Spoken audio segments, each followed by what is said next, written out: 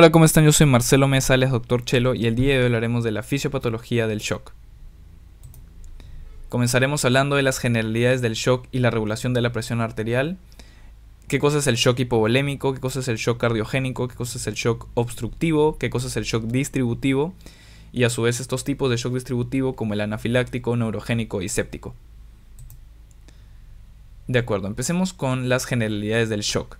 El shock se define como un estado de hipoperfusión generalizada, que es debido a una disminución de la presión arterial media menor a 60 milímetros de mercurio. ¿De acuerdo? Entonces, el problema de este estado de hipoperfusión generalizada es que debemos considerar que ningún órgano está siendo adecuadamente irrigado. Y esto hace que por ende los órganos empiecen a sufrir cierto grado de lesión celular o inclusive el paciente se puede complicar rápidamente con una falla multiorgánica. Por ende es importante que frente a un caso de shock se pueda identificar el tipo de shock que es y entender el mecanismo por el cual se desarrolló y finalmente tratarlo para evitar la falla multiorgánica a nivel del paciente. Hay cuatro tipos de shock. Tenemos el shock distributivo, cardiogénico, hipovolémico y obstructivo. En la práctica clínica, sobre todo, hay que tomar en cuenta que estos tipos de shock no son excluyentes y pueden coexistir uno con el otro. Así que al lado derecho he colocado una fórmula para poder entender bajo qué mecanismo disminuye la presión arterial media en cada uno de estos tipos de shock. Recordemos brevemente que la presión arterial media está determinada en parte por el gasto cardíaco y la resistencia periférica total. La presión arterial media es directamente proporcional a estos dos. ¿De acuerdo? El gasto cardíaco a su vez está determinado por el volumen sistólico y la frecuencia cardíaca.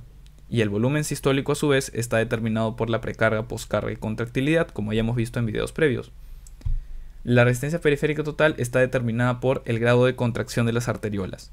Si es que las arteriolas realizan predominantemente una vasoconstricción, la resistencia periférica total se incrementa. Si es que las arteriolas están en predominante vasodilatación, la resistencia periférica total disminuye. ¿Ok? Entonces, ahora sí veamos brevemente por qué disminuye la presión arterial media en cada uno de estos tipos de shock y luego hablaremos un poquito más a detalle acerca de cada uno. En el caso del shock cardiogénico hay una falla como tal en la bomba cardíaca, es decir, hay un problema en el corazón que hace que éste eyecte menos sangre. Por ende, el volumen sistólico disminuirá y el gasto cardíaco disminuye. Y como el gasto cardíaco disminuyó, la presión arterial media disminuirá y se desarrolla el estado de shock. En el caso del shock hipovolémico, lo que va a ocurrir es que hay una disminución del retorno venoso y del volumen circulante. Esto puede ser debido a una hemorragia como tal, una pérdida masiva de sangre, o también por otro tipo de pérdidas, como por ejemplo la deshidratación, diarrea, vómitos. Todo esto lo que va a generar es una disminución de la precarga, y por ende si la precarga disminuye, el volumen sistólico disminuye y el gasto cardíaco también. Entonces, si es que el gasto cardíaco disminuye, la presión arterial media disminuirá y se desarrolla el estado de shock. Luego también tenemos el shock distributivo.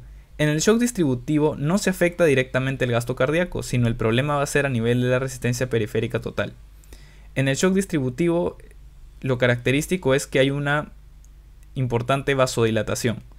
Si es que hay una marcada vasodilatación, la resistencia periférica total disminuye y esto hace que la presión arterial media baje y por ende se desarrolla el estado de shock. Luego también tenemos el shock obstructivo, que básicamente consiste de una obstrucción a la salida del flujo. Entonces esto va a llevar a la disminución del gasto cardíaco y por ende de la presión arterial media y desarrollar el estado de shock. Consideremos que durante el estado de shock se están llevando a cabo mecanismos para regular la presión arterial. Ya hay un video en el canal que habla de esto, así que haremos un pequeño resumen aquí. Recordemos que ante la disminución de la presión arterial se activan los varoreceptores. Recordemos que ante la disminución sobre todo se activarán los varoreceptores a nivel de los cuerpos carotídeos que están siendo inervados por el noveno par craneal y esto va a llevar a la activación del sistema nervioso simpático para que éste realice vasoconstricción y de esa forma incremente la resistencia periférica total y también incrementará la frecuencia cardíaca, la contractilidad miocárdica, ¿no? Realiza varios efectos a nivel cardíaco para incrementar el volumen sistólico y el gasto cardíaco. También adicionalmente realizará venoconstricción para tratar de incrementar el retorno venoso y a su vez la precarga. Sin embargo, cuando este mecanismo de los receptores no es suficiente para compensar la presión, también se activará el sistema endocrino de, encargado de regular la presión arterial, como es el sistema renina-angiotensina-aldosterona. Entonces, lo que va a ocurrir es que tenemos tres estímulos para liberar la renina, entre ellos el sistema nervioso simpático, ya que el, el sistema yuxtaglomerular y sus células respectivas tienen receptores beta 1 que llevan al aumento de la renina. La hipoperfusión renal también es un estímulo para el incremento de la renina. Y el otro estímulo es el feedback tubuloglomerular, que no hablaremos de eso ahora. Entonces, este incremento de renina, la renina lo que hace es convertir el angiotensinógeno producido en el hígado a angiotensina 1. Y luego la angiotensina 1 va a ir hacia el pulmón para ser convertida en angiotensina 2 por la enzima convertidora de angiotensina. Y la angiotensina 2 tiene múltiples efectos para tratar de incrementar la presión arterial como por ejemplo incrementar la síntesis y liberación de la aldosterona. La aldosterona lo que hace es incrementar la retención de sodio y agua a nivel renal y por ende va a colaborar a incrementar el retorno venoso. En el caso de la angiotensina 2, esta también incrementa la reabsorción del sodio y agua a nivel renal. Otro efecto que tiene la angiotensina 2 es el de la vasoconstricción a nivel de las arteriolas porque tiene receptores AT1 que llevan a vasoconstricción y por ende incrementará la resistencia periférica total. Otro efecto que tiene la angiotensina 2 es incrementar la secreción de hormona antidiurética y la hormona antidiurética ayuda a la reabsorción de agua a nivel renal y también realiza vasoconstricción uniéndose a receptores V1. Finalmente, el último efecto de la angiotensina 2 es el incrementar la sed. Si es que alguien consume más agua, lo que va a hacer es incrementar su retorno venoso y por ende incrementará su precarga. Y todos estos mecanismos ayudan a incrementar el gasto cardíaco finalmente, así como la resistencia periférica total. Así que es importante considerar que durante los estados de shock que hemos visto se está llevando a cabo estos mecanismos para regular la presión arterial. Había mencionado que en el estado de shock lo que hay es una hipoperfusión generalizada y esto podía llevar a daño tisular de múltiples órganos.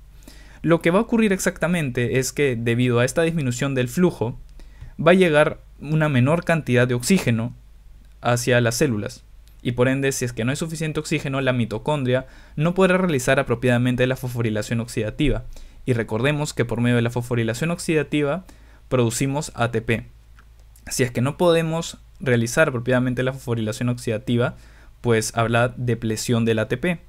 Y si es que hay depresión del ATP, ¿qué es lo que va a ocurrir? Las bombas dependientes de ATP ya no van a funcionar, como la bomba de sodio, y esto va a llevar a la entrada de calcio, agua y sodio, y por ende la salida de potasio también.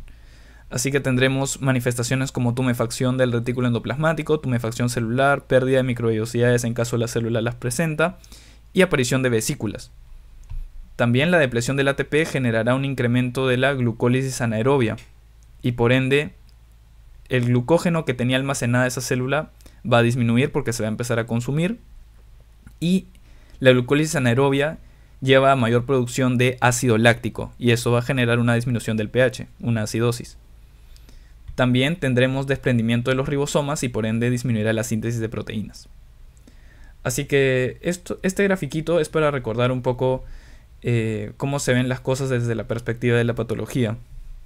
En el caso de una persona, bueno, sana totalmente, la célula está normal en homeostasis. Y en nuestro caso que estamos hablando de shock, el estímulo lesivo sería la eh, hipoperfusión generalizada, ¿no? Por ende, los órganos pueden sufrir cierto grado de lesión reversible, como hemos mencionado aquí. Sin embargo, si es que esta hipoperfusión se mantiene, ya pasaría a ser una lesión irreversible a nivel de las células de los órganos y por ende esto puede llevar a muerte celular bajo la forma de necrosis o apoptosis. Por ende, como había mencionado, es importante identificar el tipo de shock para tratar de corregirlo y evitar esta falla multiorgánica. Ahora hablemos del shock hipovolémico. El shock hipovolémico se divide en dos grupos. Puede ser un shock hipovolémico hemorrágico, así como un shock hipovolémico no hemorrágico.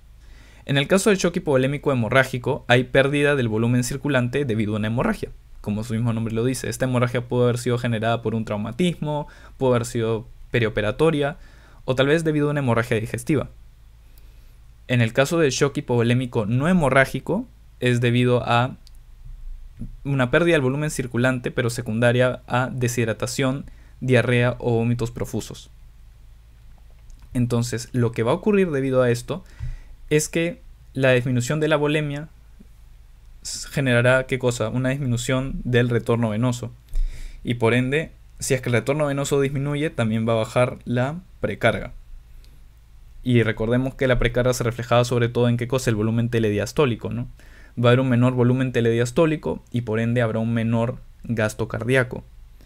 Y si es que el gasto cardíaco baja, por fórmula recordemos que también va a disminuir la presión arterial media y por ende se desarrolla el estado de shock, o sea, disminuye la perfusión tisular. Recordemos que a su vez hay estos mecanismos compensatorios como la activación del sistema nervioso simpático por los receptores, la activación del sistema renina-angiotensina-aldosterona y también habrá una redistribución del flujo sanguíneo a expensas de los lechos vasculares esplácnicos. Es decir, recordemos que la circulación esplácnica, todo lo que es el tracto gastrointestinal, va a aportar por medio de su flujo de sangre hacia los demás órganos que bueno, son de mayor importancia o vitales para poder eh, mantener a la persona apropiadamente viva, ¿no? Muy bien, ahora hablemos del shock cardiogénico. El shock cardiogénico se produce cuando hay una insuficiencia de la bomba cardíaca. Es decir, el corazón es incapaz de proporcionar suficiente sangre para una perfusión o irrigación adecuada de los tejidos. ¿Ok? Entonces, recordemos eso, un problema a nivel cardíaco como tal que evita que el corazón aporte un adecuado flujo sanguíneo a los órganos. La causa más frecuente de shock cardiogénico es un infarto de miocardio agudo. Pero también hay otras causas, como por ejemplo valvulopatías, arritmias, miocarditis o rotura de la pared ventricular. Entonces, ¿qué es lo que va a ocurrir? Debido a este problema cardíaco, que puede afectar varios componentes del volumen sistólico, pero sobre todo la contractilidad, ¿no? Esto va a llevar a la disminución del volumen sistólico y por ende disminución del gasto cardíaco. Si disminuye el gasto cardíaco, recordemos por la fórmula, disminuye la presión arterial media y esto lleva a shock y por ende la lesión tisular de la que habíamos hablado. Igualmente se van a tratar de incrementar estos mecanismos compensatorios como la activación del sistema nervioso simpático, la activación del sistema renina-angiotensina-aldosterona y la redistribución del flujo sanguíneo a expensas de los lechos vasculares esplácnicos. Siempre es importante considerar que estas medidas compensatorias están presentes en los shocks, solamente que en mayor o menor medida. Muy bien, continuamos. Así que este grafiquito lo coloqué para ver básicamente el, impacto de un infarto agudo de miocardio, ¿no? que, que en general puede llevar a, la, a que varios tipos de shock coexistan, ¿no? debido a la inflamación que puede llevar a generar. Pero aquí más me interesa que recordemos el mecanismo de que una disfunción miocárdica llevará a que el volumen sistólico y el gasto cardíaco disminuyan y por ende la presión arterial media disminuya y por ende se desarrolla este estado de shock, ¿no? con una disminución de la perfusión tisular. Sin embargo, también es importante considerar para motivos de práctica, de práctica clínica perdón, que esta disfunción miocárdica también puede llevar a un incremento de las presiones retrógrado y por ende un edema pulmonar y el desarrollo de hipoxemia. ¿no? Así que eh, debemos siempre tratar de abrir el panorama y ver cada uno de los efectos que tiene este infarto. ¿no? Muy bien, continuamos. Ahora veamos el shock obstructivo. El shock obstructivo se caracteriza por una obstrucción del flujo sanguíneo que afecta sea el llenado diastólico, es decir, esta obstrucción evita que el corazón se llene apropiadamente, o evita que el corazón eyecte apropiadamente la sangre, es decir, afecta el vaciamiento sistólico ventricular. Tal es el caso de qué patologías que llevan a un shock obstructivo, el neumotoras a tensión, el taponamiento cardíaco y el tromboembolismo pulmonar masivo. ¿Ok? Por ejemplo, vamos a revisar lo que es el taponamiento cardíaco. El taponamiento cardíaco ocurre cuando eh, hay un incremento del líquido pericárdico, ¿ok? Y esto lleva a que el corazón sea comprimido, ¿ok?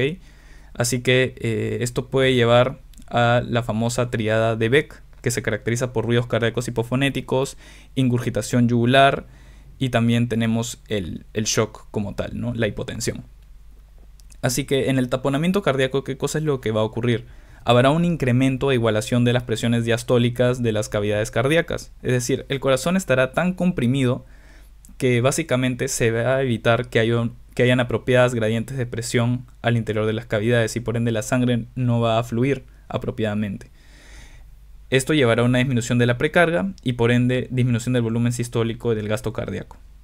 Así que si disminuye el volumen sistólico y el gasto cardíaco, pues disminuirá la presión arterial media y por ende disminuye la perfusión tisular.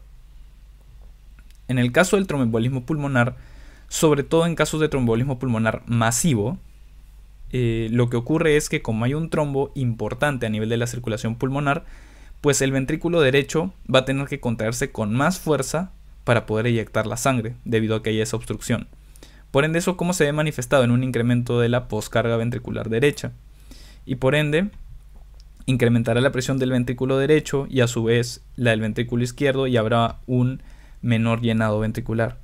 Esto lo que va a ocurrir es que lleva una disminución del volumen sistólico y del gasto cardíaco y por ende disminuye la perfusión tisular y por ende, se desarrolla el estado de shock. El shock obstructivo es importante de identificar porque hemos visto que hay patologías que directamente generan este shock obstructivo. Así que el tratamiento sería básicamente corregir la patología de fondo. Si es que hay un trombolismo pulmonar masivo, hay que disolver ese trombo eh, por medio de eh, anticoagulantes. En el caso del taponamiento cardíaco, tenemos que quitar retirar el exceso de líquido pericárdico por medio de una pericardiocentesis. Y en el caso del neumotórax atención, la colocación del tubo de tórax para poder liberar el exceso del aire que está ingresando. Muy bien. Entonces, ahora hablemos del shock distributivo. Habíamos adelantado que el shock distributivo tiene el principal problema que la resistencia periférica total está disminuida, es decir, hay una marcada vasodilatación. Sin embargo, tenemos que ver cuáles son los mecanismos por los cuales se desarrolla esa vasodilatación marcada. ¿De acuerdo? Así que vamos a ver estos tipos de shock distributivo, entre los que tenemos el anafiláctico, neurogénico y el séptico. En el caso del shock anafiláctico, este es debido a alérgenos. Entonces es un, es un mecanismo de hipersensibilidad tipo 1. Lo típico es que este alérgeno es una sustancia inocua. Puede ser el polen, puede ser el polvo, en fin. Pero el asunto es que la persona tiene una alergia a eso. Entonces, ¿qué es lo que ocurre? En una primera exposición a este alérgeno, la célula dendrítica de esta persona que tiene la predisposición pues lo detecta como algo, como algo extraño, ¿no? como algo que puede llegar a generar algún tipo de daño. Entonces la célula dendrítica lo presenta al linfocito T, ¿no? y el linfocito T se especializa en linfocito T helper 2. Este linfocito T helper 2 también lo que va a hacer es una comunicación con los linfocitos B, y por ende el linfocito B va a recibir una serie de interleuquinas, como por ejemplo la interleuquina 4, que va a incrementar que este desarrolle inmunoglobulina E. También incrementará la interleuquina 5, que lo que hace es reclutar eosinófilos. Y también la interleuquina 13, que estimula células epiteliales y secreciones. Este linfocito B lo que va a hacer es producir estas inmunoglobulina E ya como célula plasmática. Y las inmunoglobulina E se van a unir a la membrana del mastocito. El mastocito es aquí digamos, una de las células más importantes, porque ahora que tiene la inmunoglobulina E asociada a su membrana, lo que va a ocurrir es que el mastocito está como alerta ante una siguiente exposición al alérgeno. Entonces, cuando el alérgeno se presente nuevamente, se va a unir directamente esta inmunoglobulina E del mastocito. Y por ende, el mastocito libera una serie de mediadores tras esta exposición, como son las aminas vasoactivas, derivados del ácido araquidónico, y todos estos mediadores, ¿qué es lo que van a generar? Vasodilatación generalizada. ¿De acuerdo? Y por ende, como hay vasodilatación generalizada, la resistencia periférica total cae y por ende se desarrolla el shock. ¿De acuerdo? Ese es el shock anafiláctico. Ahora hablemos del shock neurogénico. El shock neurogénico es una forma de shock distributivo que se produce por la pérdida del tono simpático de las arteriolas. Esto lo que hace es que como las arteriolas pierden su tono simpático, pasan a estar predominantemente vasodilatadas y por ende disminuye la resistencia periférica total y se desarrolla el shock. ¿Cuáles son las causas del shock neurogénico? Tenemos la injuria de la médula espinal por encima de T6, la lesión cerebral traumática y la hemorragia cerebral. Adicionalmente presentan bradicardia por pérdida del tono simpático. Es como si prácticamente no tuviera estimulación simpática. Así que dentro del manejo se administran los fluidos y si es que el paciente es refractario a los fluidos se pueden utilizar vasopresores para incrementar el tono simpático, como por ejemplo la noradrenalina, la dopamina o la fenilefrina. Ahora veamos el shock séptico. Vamos a hablar eh, de manera general del shock séptico, ya que en sí es un tipo de shock bastante extenso que puede conllevar incluso la coexistencia de múltiples tipos de shock y es una situación muy complicada. Así que nos vamos a centrar sobre todo en los mecanismos que hay en el shock séptico para que se dé la vasodilatación, un poco de definiciones y ver eh, las medidas compensatorias. No se ahondará mucho en la parte de tratamiento. Así que el shock séptico se define como un tipo de shock distributivo, ¿ok? Que se define como sepsis, que tiene anormalidades circulatorias, celulares y metabólicas que están asociadas a un mayor riesgo de mortalidad que la sepsis sola. ¿Ok? Así que recordemos, sepsis más anormalidades circulatorias, celulares, metabólicas que incrementan el riesgo de la mortalidad del paciente.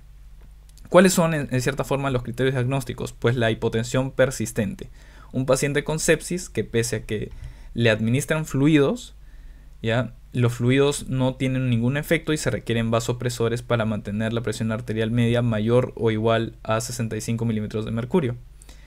Y también tenemos la acidosis láctica persistente, entre los que tenemos el lactato incrementado a más de 2 milimoles por litro a pesar de la administración de fluidos.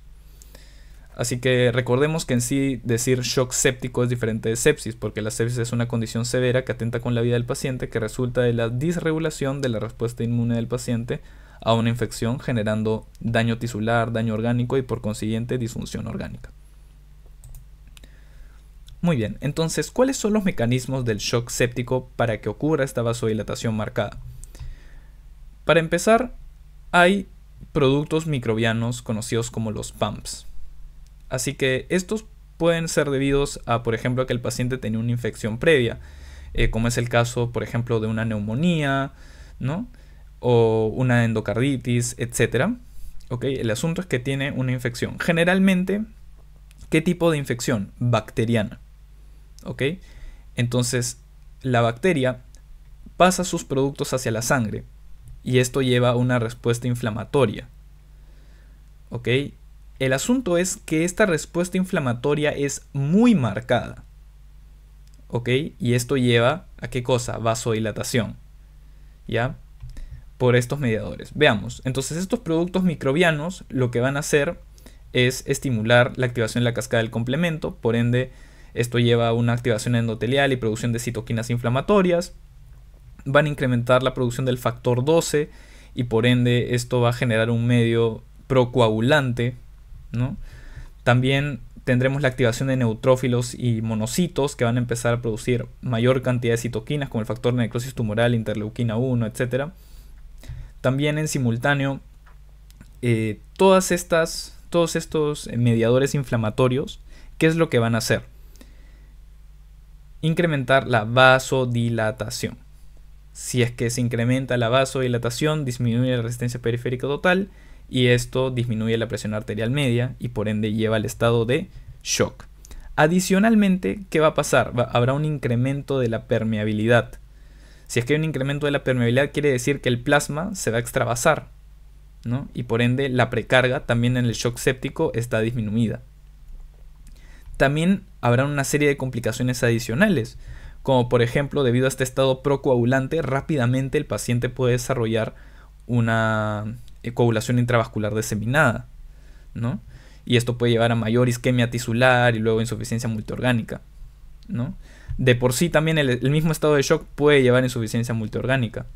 estos también los efectos sistémicos que pueden ser generados por estos mediadores inflamatorios pueden llevar a insuficiencia multiorgánica y también conllevan cierto grado de inmunodepresión debido a la producción posterior de interleuquina 10 o eh, bloqueadores de los receptores de interleuquinas. ¿no? Así que, eh, como pueden ver, el shock séptico es muy complejo, ¿no? es una respuesta inflamatoria muy compleja, pero que básicamente genera este fenómeno de vasodilatación y debido a las múltiples otras complicaciones que puede llevar a generar eh, rápidamente insuficiencia multiorgánica.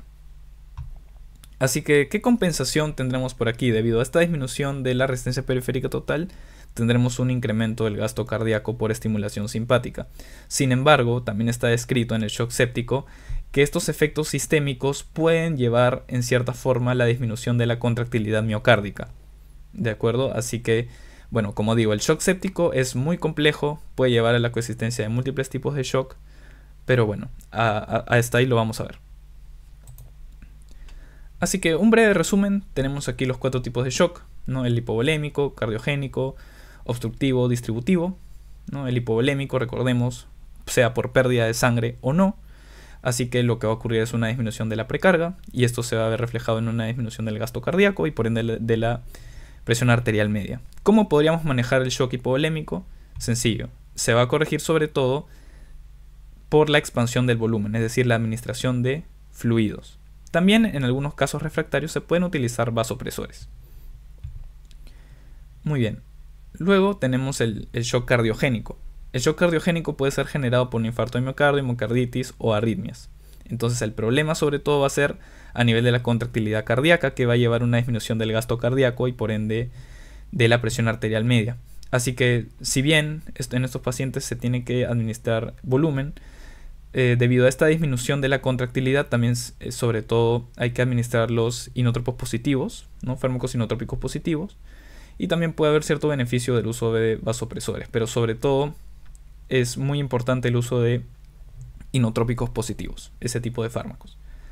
Luego tenemos en el shock obstructivo, ya vimos eh, lo que es el taponamiento cardíaco, lo que es el tromboembolismo pulmonar masivo, el neumotórax a tensión, que fundamentalmente todo esto lleva a una obstrucción del llenado y, o salida de sangre. Entonces, eh, vean que la medida más importante que hay que hacer aquí es aliviar la obstrucción. Si es que el paciente presenta un émbolo, tenemos que eliminar ese émbolo, ¿no? Por medio de tratamiento anticoagulante o fibrinolítico. En el caso del taponamiento cardíaco, hay que aliviar ese exceso de líquido pericárdico, ¿no? Por medio de una pericardiocentesis. En el caso del neumotórax atención, la, la colocación del tubo de tórax para liberar ese exceso de aire que está ingresando al interior del tórax. ¿no? Así que en base a eso, después se tiene que dar el soporte hemodinámico apropiado.